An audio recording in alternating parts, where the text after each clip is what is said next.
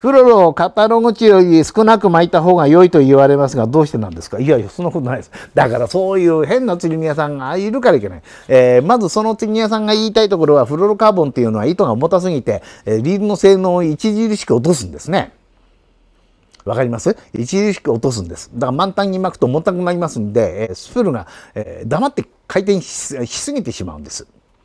ね、それを止めるのにブレーキを非常に多く必要とします。ブレーキを多く必要。もともとフローロカーボンっていうのはナイロンに比べますと思いっきり飛距離が落ちます。飛距離が落ちるところに来てスプールが重たくなるんで飛距離がさらに、えー、落ちます。えー、次にさん的にはそのバックラッシュという部分があるんで少なくっていう。通常はですねリールというのは本来はスプールのいっぱいいっぱいまで巻いて初めて、えー、性能を発揮するようにできております。僕らはそうやってテストしております。いいですか？釣り屋さんを信じるか俺を信じるかということになりますね。はい、もしかしてあのずっと少しずつ少しずつなくなってきて、まあ、もう半分ぐらいになったからこうかそれは遅すぎます。いいですか？直ちに釣り屋さんに行って糸を巻き替えてください。ね。はい。